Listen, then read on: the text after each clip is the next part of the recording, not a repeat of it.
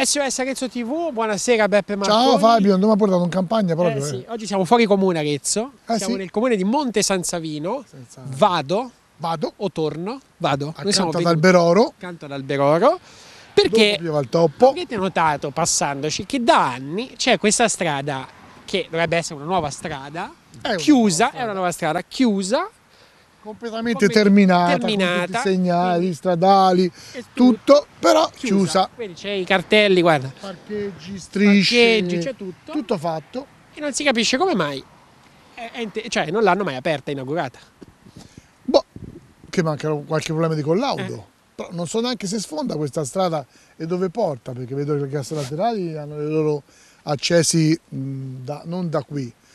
O questa è una lottizzazione completamente da fare e si è fermato tutto Eh sì, perché c'è i tubi che vedi Eh, che sbucano in fuori da... virtù della, della crisi, quindi è figlia della crisi.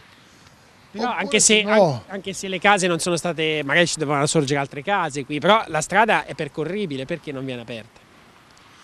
Eh, magari però se non serve nessuno non la tengono aperta apposta, perché magari l'illuminazione è spenta, Costa, eh, e magari ci sono altre piccole opere da fare. E in effetti, vedi, le aperture che sono a lato della strada ti fanno capire che qui doveva nascere qualcosa.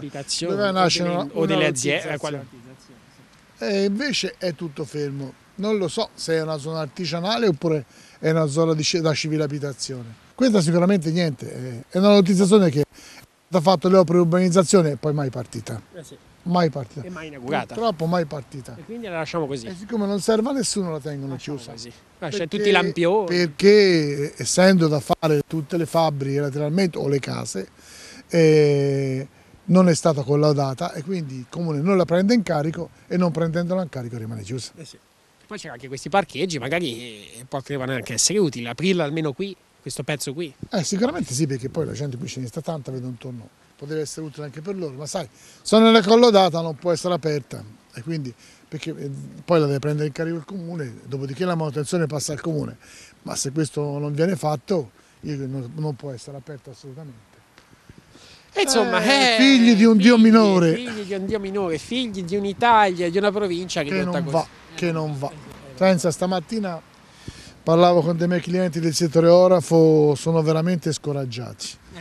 Loro pensano che anche quest'anno chiuderanno altre aziende orafe ad Arezzo, quindi perderanno altri posti di lavoro perché loro purtroppo non va.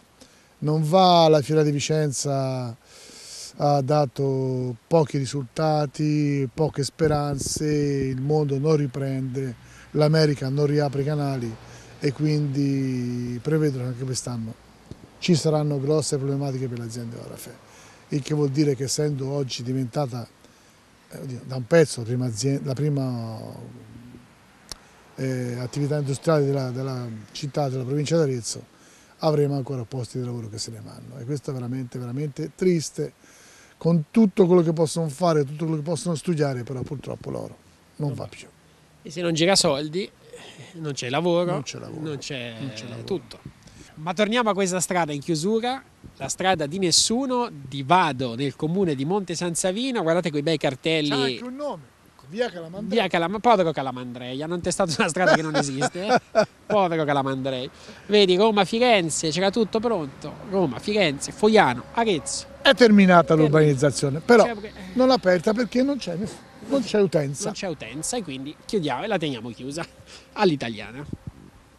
Benissimo. Purtroppo non puoi fare altro. Si può fare. La guarderemo come si guarda un quadro, un monumento che passa Ma di qui. forse sarebbe il caso, non so dove finisce, magari se c'è qualche strada unirla Eh sì. e poter ut- utilizzare certo. per magari bypassare il paese del Eh, Belolo. così. C'è quel semaforo Eh maledetto, sì. ci sta mezz'ora. Ma chi ce l'ha messo?